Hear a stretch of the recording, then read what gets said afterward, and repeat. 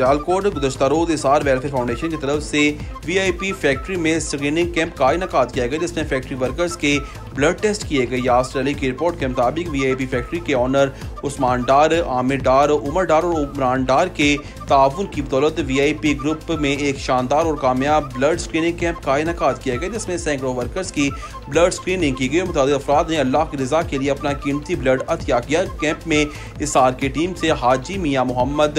Anwar sir सरप्रस्त sir Zulfikar Mughal रहबर सार और दीगरान ने शिरकत की अल्लाह ताला इस कैंप के लिए मेहनत करने वाले हर शख्स को जजाय खैर दे